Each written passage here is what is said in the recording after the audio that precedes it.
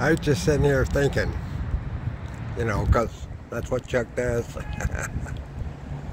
you know what you need to do is just show up at lunchtime and tell uh, one of the uh, waiters, the servers, whatever you want to call them, go tell the chef, Chuck's here, and fix me a vegetarian meal. Now, if he's any kind of chef at all, it should be no problem. what do you think about that one? Enjoying the sun.